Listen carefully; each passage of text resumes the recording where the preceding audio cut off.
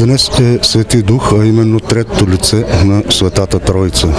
Бог Отец, Бог Слово и Дух Свети. На днешния ден ние молим за благодата, която Господ ни изпраща, а именно Отещеля по Неговите думи за Дух Свети. Самият храмов празник, храм се казва Света Троица. Неговият празник е в неделя на Петдесетница.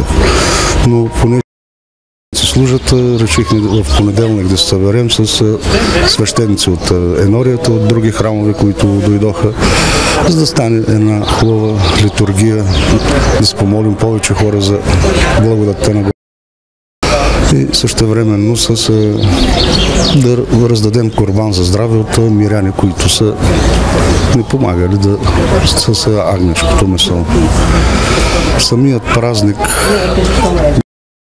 благодарим на Господ за благодатта, която ни изпраща за Духа Свети, който осенява всеки, който е във всеки, но ние хората просто не използваме благодатта Божия за това, за което ни е дадено и чрез молитвите на всички, за да бъде мир на земята, да има благодействие и Бог да ни помага във всичко. Колко свещеници се включиха в службата празничната днес и райони?